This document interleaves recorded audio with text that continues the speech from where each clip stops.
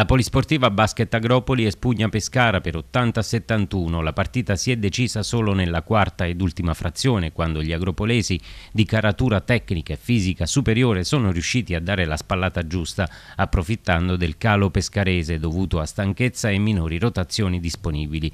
Nell'Agropoli ottima la regia di Marulli che ha avuto un buon apporto da Romano e Birindelli, mentre nei ragazzi di Salvemini è da evidenziare l'approccio molto intenso alla partita che ha consentito un equilibrio, con momenti di leggero vantaggio per tre quarti di gara.